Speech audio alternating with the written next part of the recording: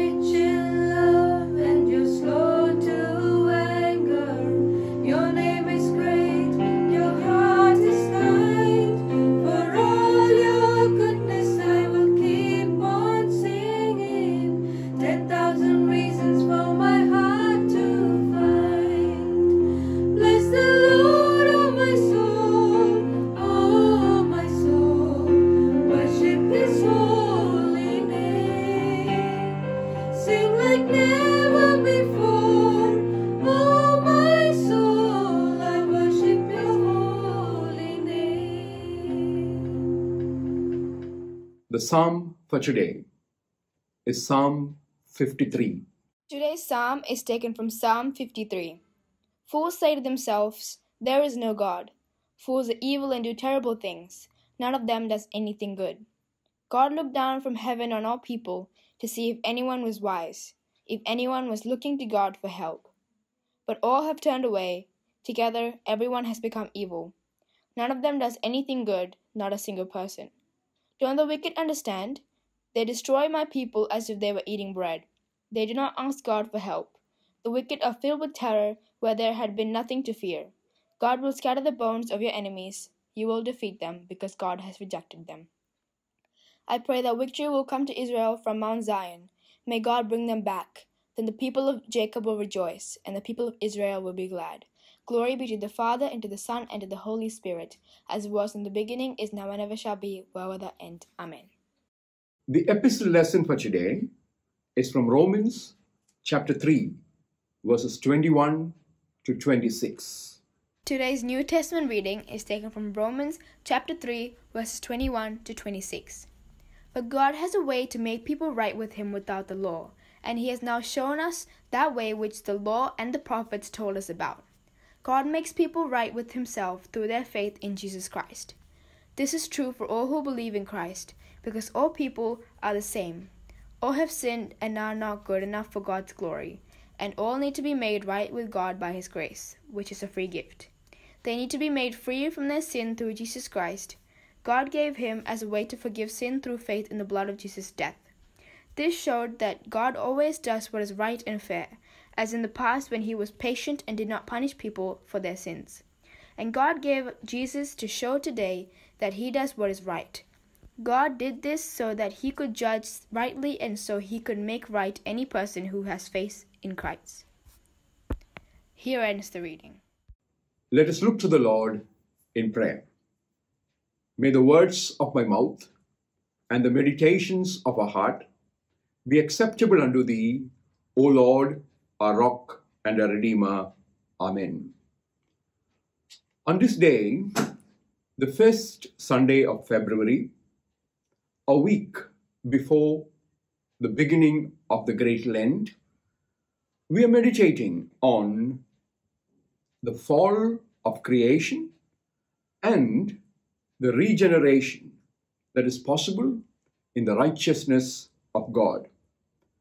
Romans chapter 3, verses 21 to 26 is a profound exposition of the Christian understanding of salvation. The entire depth of soteriology is seen beautifully expressed in this particular passage. I would want to draw your attention to some key elements in this experience of salvation that Paul beautifully summarizes in this text, understanding what the essence of Christian faith is all about. The creation was all about bliss in Christ, beauty in a wonderful relationship in Christ. But the wild serpent of old, entering into a conversation with the foreparents Adam and Eve, so the story went, prompted them to sin, hide from God, and the big question, Where are you, O mortal? had to be answered with, We are hiding. Hiding because we have sinned, hiding because of fear. However, we interpret that story, Jesus Christ and the experience of salvation available in Christ was a panacea to the fall that happened in the Garden of Eden, to the engulfment that sin brought in into our life, and a redemption from all the bondages that came hitherto. What is Paul telling us as the essence of the salvation story? Primarily in Christ, Paul says, the righteousness of God is disclosed. The same righteousness that was attested by law, by the prophet. And that righteousness is available through faith in Christ Jesus. The in Christos experience, the in Christ Jesus experience. Christ Jesus is the exposition of the righteousness of God, the revelation of the righteousness of God, the revelation of the salvific plan of God, the revelation that was being talked about by the law, the revelation that was being talked about by the prophets. And therefore, the first and important thought is Christ is the disclosing of God's plan for the salvation of humanity, God's plan for the redemption of entire creation. Secondly, when Paul writes about the righteousness of God in this particular text, he writes, This righteousness is for all, all who believes in Christ Jesus. There is going to be no distinctions.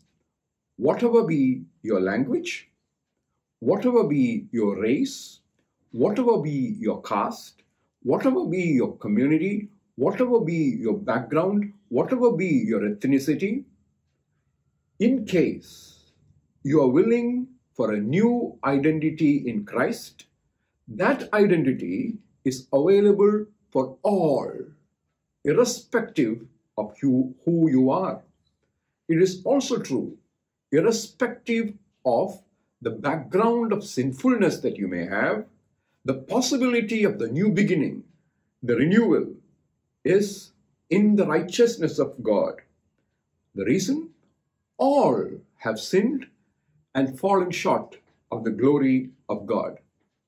Dear friends, in the cross, in the cross, what happens is that all human made barriers are broken off. God is opening up a new gateway to the presence of God where all of us in Christ can come together and approach and embrace the throne of grace.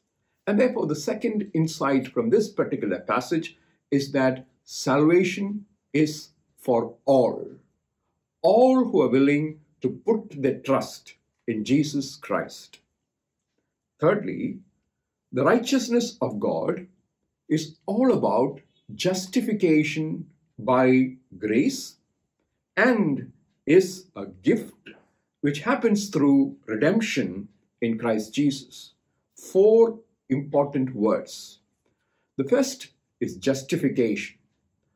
Whatever you have done, whoever you are, whatever be that which keeps you away from God, whatever be that that has identified within yourself, affecting your identity, you are going to be justified by God.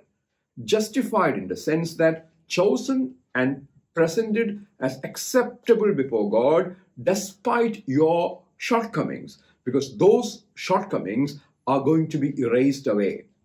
And this experience of erasing the shortcoming is an experience of grace, not by works, not by your tall claims, not because who you are, but because who God is, and the willingness of God to be gracious. God's riches at Christ's expense is one of the best definitions we have had about grace. This goes on and says this justification by grace is a gift. It is the joy of the giver, full of love, that this gift of justification by grace is given to everyone who is willing to take the offer. And that justification, that grace, that gift becomes complete when you appropriate it and understand what redemption in Christ is. Whatever be the pits into which you have fallen, whatever be the cells into which you are locked up, redemption means you're being be, you're going to be unlocked, you're going to be lifted up, you're going to be going to be free. The fourth aspect of righteousness that Paul talks about in this particular text is the whole idea of the sacrifice of atonement. The Old Testament theologians very clearly knew what that meant. There was the lamb of sacrifice.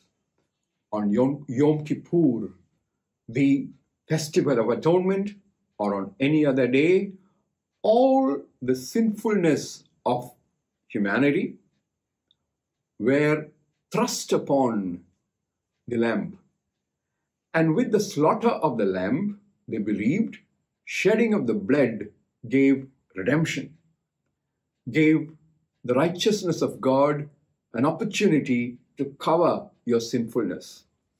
And as the Baptist pointed out, behold the Lamb of God who takes away the sin of the world.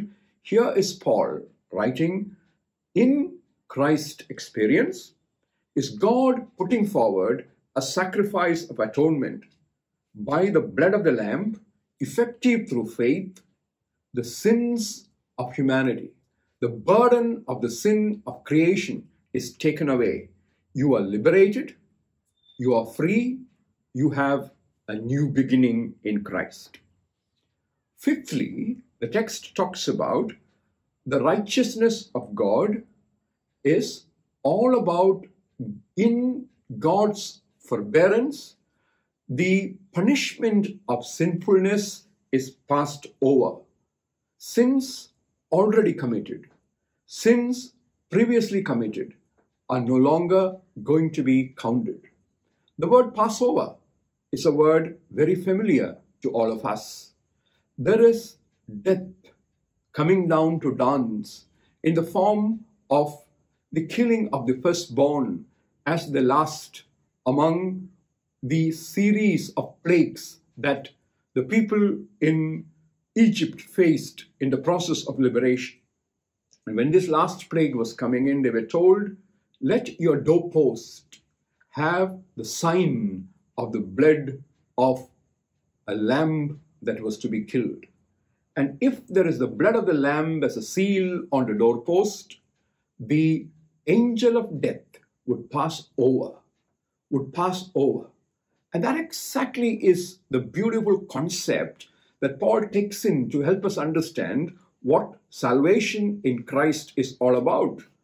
He says, You might be sinful, but once you acknowledge your sinfulness, Once you're willing to put your trust in Jesus Christ, then what happens is when the punishment of sin comes in, the angel of the punishment of sin sees you, and God instructs in grace that it passes over, passes over sins previously committed. What, what an experience of redemption. From all the bondages of yesterday, a new beginning is being made possible in Christ. And that is the beauty of salvation.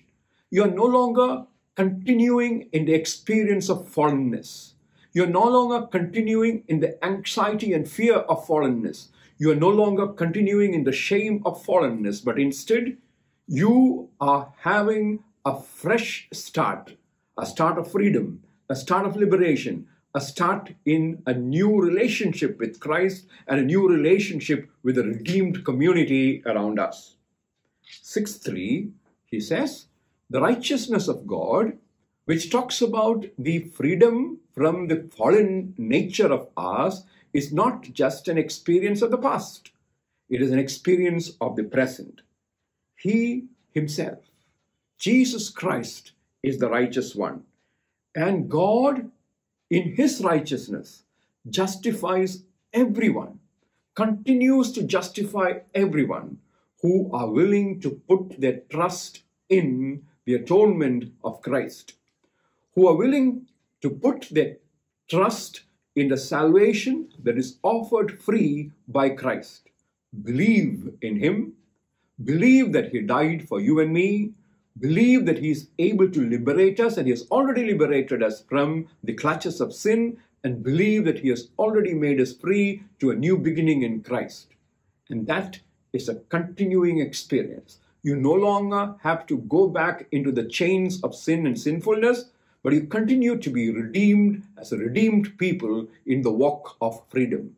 That is the beauty of this righteousness of God that we experience. And of course, as we continue to prepare for the Lenten season, we also realize, lastly, that the righteousness of God has an eternal dimension. All that we talked about as experience of the here and now, as experience of the present, is about preparing us to the not yet, to the beauty of the blissfulness of the kingdom that Christ has promised to you and me. Dear friends, Lent is a time of repentance. Lent is a time of reconciliation. Lent is a time of a fresh relationship with Christ. Lent is a time of a fresh relationship with each other. Lent is a time of a fresh renewal. Lent is a time preparing for a fresh rejoicing. And the basis of all this is the righteousness of God disclosed in Christ Jesus, available for all, a gift of grace, redemption that is in Christ, a sacrifice of atonement by the blood through faith. It is God's forbearance in passing over sins of our past. It is God Himself who is righteous, justifies everyone who puts their trust in Jesus Christ, enable us, enabling us to have an already experience of the blissfulness of the kingdom, leading us to eternity, leading us to the not yet dimensions of the beauty of the people who are redeemed, singing glory unto Almighty, the kingdom of love, the kingdom of justice, and kingdom of peace. Let's pray. Gracious Lord, as the world continue to fight the pandemic, we pray that your grace would be upon us. You would bring healing. You would bring your righteousness as an overarching shadow over us.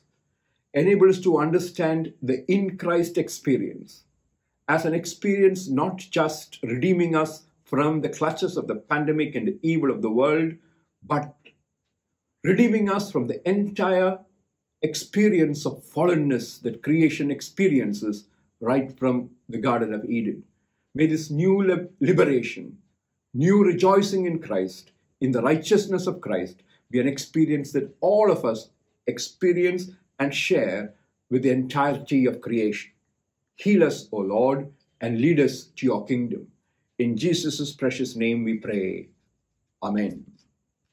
Our closing hymn today is Bless the Lord, O my soul. How can we but bless him because of the redemption, the salvation that we have received?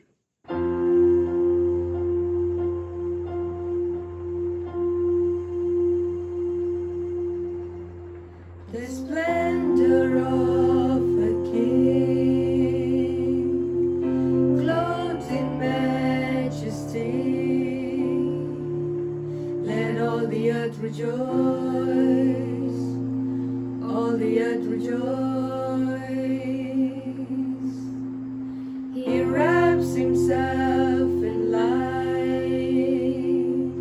and darkness tries to hide, and trembles at his voice, trembles at his voice.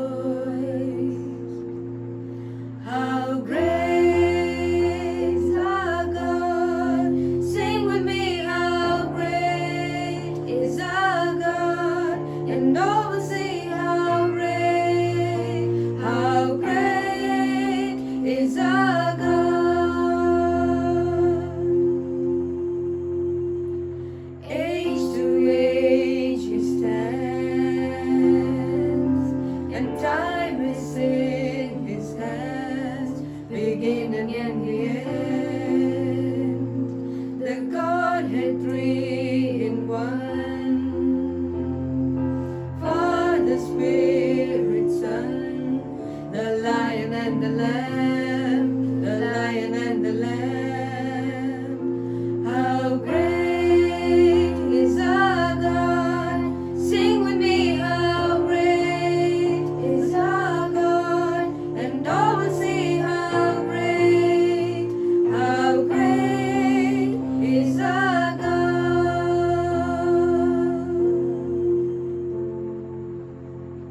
Let us pray the Lord's Prayer together.